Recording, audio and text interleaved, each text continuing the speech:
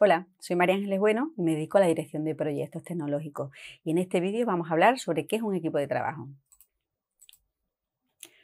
¿Qué es necesario para que haya un equipo de trabajo? Pues parece lógico pensar que lo primero que se requiere es que haya un grupo de personas. ¿Y se requiere para ser equipo que estas personas trabajen juntos? Bueno, pues no tiene necesariamente por qué, porque hay personas que trabajan en una misma oficina y sin embargo no son un equipo. Por contra, podemos encontrar organizaciones que las personas están distribuidas en diferentes ubicaciones físicas, es más, incluso en diferentes países, incluso continentes, y sí que funcionan como un equipo de trabajo. Entonces, ¿qué es lo que otorga a un grupo de personas el carácter para definirse como equipo? Pues en primer lugar, en primer lugar, tener unos objetivos comunes. Estos objetivos tienen que estar bien definidos, porque es lo que puede marcar la diferencia entre conseguirlos o fracasar. Y para, que sean conseguibles, pues tienen que ser unos objetivos inteligentes, es decir, tienen que ser primero específicos, que no haya ningún tipo de ambigüedad, que todos sepan lo que hay que conseguir. Por ejemplo, si decimos nuestro objetivo es ser mejores, pero mejores en qué? ¿Cuánto de mejores? Podríamos reconducir o reformular el, objetivo para decir reducir el número de errores en las pruebas de los desarrollos que elaboremos. ¿Ya? Tiene otro.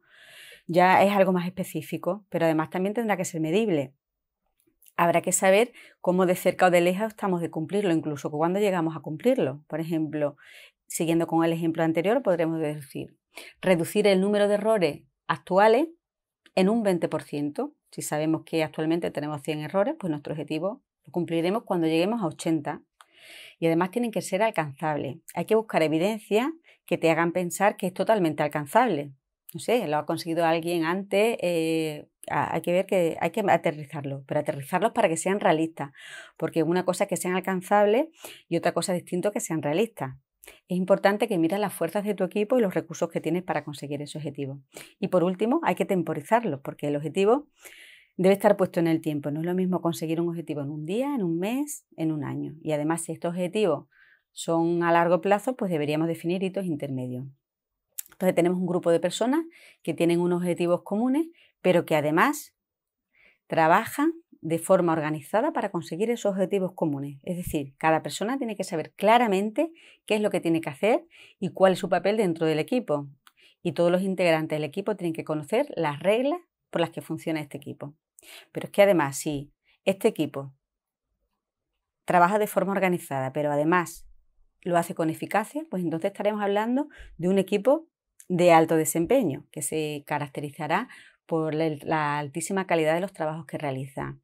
Y bueno, la pregunta del millón es cómo se llega de un grupo de trabajo a un equipo de trabajo de alto desempeño. Pues según el psicólogo americano Bruce Tussman, todos los grupos de trabajo, para llegar a su máxima eficacia, pasan por cuatro fases. Una primera fase de formación, en la que se componen se conocen primero las personas del equipo y el líder. Se define el propósito, el sentido y la esencia del equipo. Se dan respuestas a preguntas como ¿para qué somos un equipo? ¿Cómo queremos vernos en los próximos años? ¿Cuál es nuestra aportación de cada integrante al equipo? Y al finalizar esta fase, cada persona tiene que tener claro cuál es su rol y su responsabilidad y cuáles son las reglas de funcionamiento del equipo. En resumen, el modo de gobierno del equipo. En esta fase los comportamientos de las personas aún son individuales, nada grupales y el grado de compromiso bajo.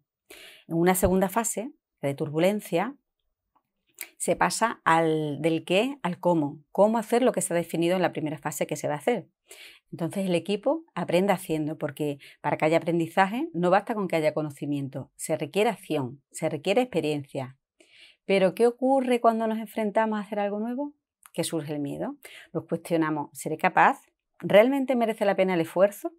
Por esto es habitual que nos encontremos en esta fase, que haya integrantes que cuestionen, incluso rechacen la forma acordada de, de cómo vamos a trabajar, siendo frecuentes conflictos personales. Pero para seguir avanzando como equipo es necesario que se den los aprendizajes y también los desaprendizajes de hábitos adquiridos que no estén alineados con este equipo. Las personas podrán tener interiorizadas conductas que en otros ámbitos o incluso en trabajos anteriores fueran aceptadas, pero no en este. Sin duda, la fase 2 de turbulencia es la más compleja. Aproximadamente el 80% de los equipos no la superan. Pero los equipos que sí la superan pasan a una fase de normalización. Y, en esta fase las personas ya tienen interiorizados los hábitos, ya los tienen adquiridos. Las personas ya saben hacer, pero aún lo hacen con un, coste muy elevado de, de energía. Son eficaces, pero no son eficientes. El equipo ya no trabaja por un logro individual, sino más bien por un logro común. Y hay compromiso, respeto, buena comunicación y las personas confían en el resto del equipo.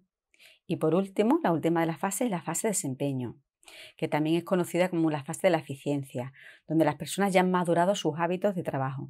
Ya hacen sencillo lo difícil, demuestran maestría, se han convertido en un equipo de alto rendimiento, tienen mucha motivación y sentido de pertenencia al equipo. Se caracteriza por su elevado nivel de madurez y su altísima calidad. Pues nada, una vez conocido el ciclo de vida de los equipos, te invito a reflexionar sobre el grado de madurez de tu equipo. ¿Qué comportamientos son los frecuentes en tu equipo? ¿Se, ¿Se trabaja de forma colaborativa? ¿Suele haber conflictos personales? ¿Se trabaja por logro individual o por logro colectivo? ¿Hay compromiso y responsabilidad? ¿Hay autonomía? ¿Se trabaja de forma eficaz o eficiente? En base a estas reflexiones, ¿qué fase del modelo de TUSMA crees que se encuentra tu equipo?